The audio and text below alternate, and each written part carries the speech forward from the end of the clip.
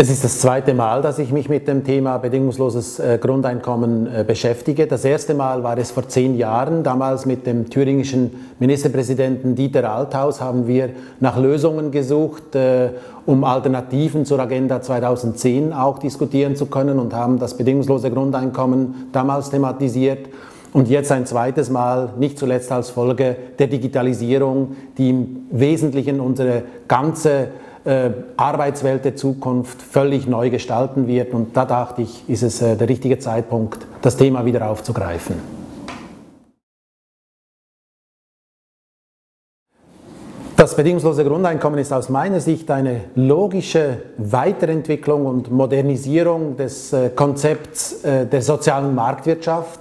Äh, die soziale Marktwirtschaft hat Deutschland nach dem Krieg wieder nach vorne gebracht, das Wirtschaftswunder ermöglicht. Und genauso sehe ich das eben auch jetzt. Wieder sind wir an einer Bruchstelle mit der Digitalisierung und das bedingungslose Grundeinkommen hat das Potenzial, eben hier wieder für ein Wirtschaftswunder Deutschlands im 21. Jahrhundert zu sorgen und auf der einen Seite Wirtschaft und auf der anderen Seite das Soziale in Irenik, also Harmonie, zusammenzubringen.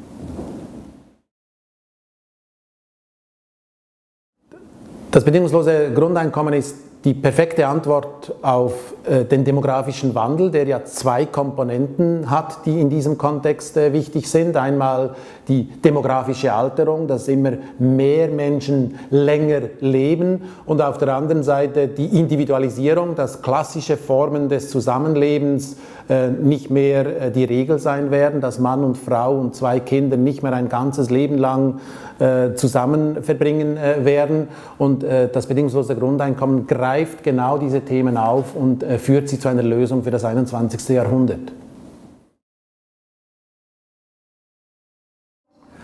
Ich habe das äh, große Privileg, äh, jeden Tag als Hochschullehrer mit jungen Menschen zu tun zu haben. Und ich spüre aus dieser Arbeit und diesem Feedback äh, mit den Jungen heraus, dass äh, die kommende Generation äh, nicht sich damit zufrieden gibt, alte Systeme, die vor 150 Jahren durch Bismarck entwickelt worden sind, in einer völlig anderen Zeit, auch in Zukunft weiterzutragen. Diese junge Generation will eigenständige Antworten selber entwickeln, die der, ihrer eigenen Lebenswirklichkeit und Alltag des 21. Jahrhunderts entsprechen. Das bedingungslose Grundeinkommen äh, habe ich ja nicht äh, weiterentwickelt, um damit alle Zukunftsprobleme für alle Zeiten umfassend und abschließend äh, zu lösen. Ich denke, äh, das wäre zu vermessen und der völlig falsche Angang zu glauben, äh, dass jetzt äh, mit einem solchen visionären Konzept alle Probleme der Zukunft gelöst würden.